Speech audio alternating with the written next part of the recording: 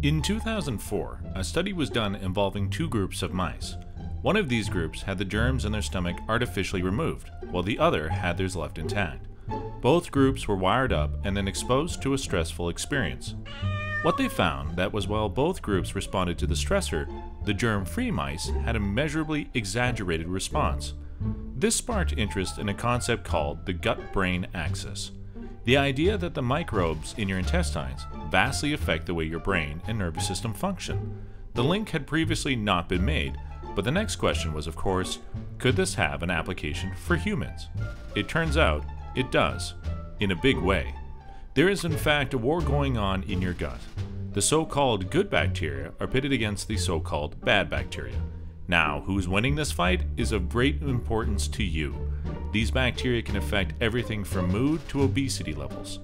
Both bacteria control important levers in the enteric nervous system, which in turn cause chemical cascades that affect all parts of your body, right up to your brain. An overabundance of the bad guys, for example, causes an imbalance that results in some very common psychological problems.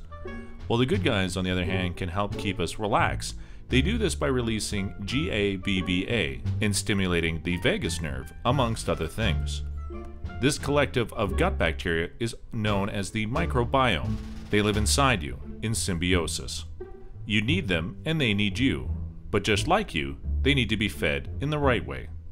This brings us to a fact that has been known by most cultures for at least thousands of years that what you eat shapes who you are. The food you put into your gut encourages the growth of one of these kinds of bacteria, and that in turn affects all the aforementioned things. Given these advances, scientists have identified certain foods that encourage the good guy bacteria, and they called them probiotics. Now you might think this is a scientific breakthrough. Well, not quite. These have been known for literally thousands of years by the Roman, the Vedic, and the Chinese cultures to name a few. Seven to 8,000 years ago, men of the Thracian culture, a warrior race, drank sour milk before going to battle. Marco Polo, the explorer, hailed the magical qualities of an ancient drink known as kefir. And one version of the Bible even says Abraham, a patriarch of Judaism, owed his long life to the consumption of sour milk.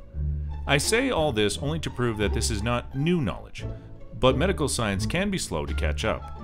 Remarkably, many health professionals don't make much of this connection. Could this issue be an elephant in the room in mental health?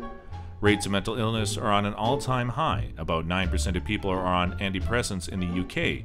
In the USA, the figure is over 10%. There are now more than 50 million prescriptions of antidepressants in the UK in a year. And when these diagnoses and prescriptions are made, diet is usually not part of the protocol. This not only ignores our ancestral knowledge, it actually is unscientific.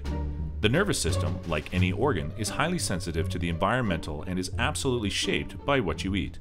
The probiotics of yesteryear have been removed from the modern diet in favor of other foods, and no prizes for guessing the kind of bacteria they encourage.